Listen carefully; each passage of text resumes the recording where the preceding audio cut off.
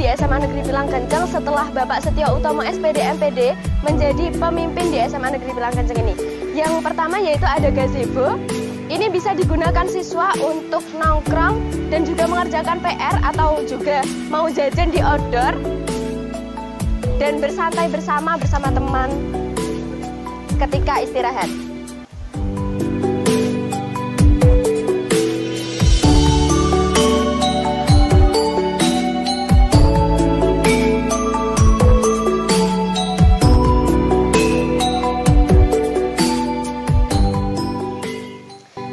Selanjutnya ada tempat duduk di sebelah pos satpam yang digunakan para siswa untuk menunggu jemputan ketika mereka diantarkan ke sekolah.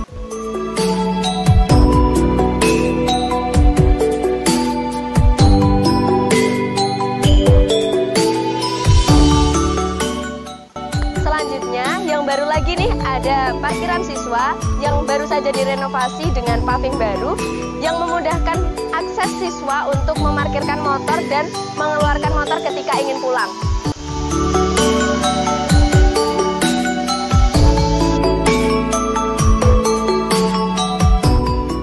Selanjutnya yaitu ada bola warna-warni yang digunakan untuk menghiasi jalanan di sekitar sekolah.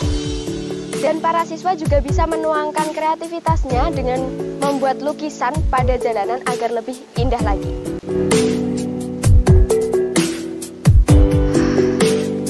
Nah, selanjutnya yaitu pembangunan pagar baru di sekeliling sekolah SMA Negeri Pilangkanjang.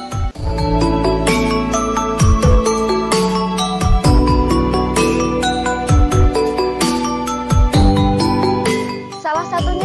pada tahun ini akan digalakkan proyek mural agar lebih menarik lagi pada dinding pagar.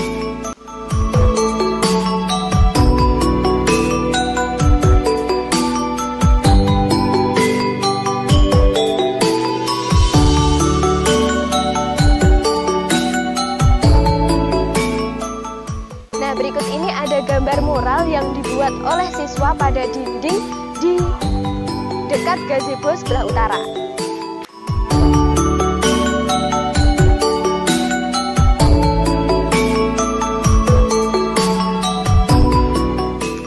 Ini ada jalanan yang sangat bervariasi, yang anak muda banget pastinya. Yang bisa digunakan siswa untuk foto-foto, memanjakan mata, dan juga bisa membuat SMA Negeri Pilangkencang ini jauh lebih indah lagi.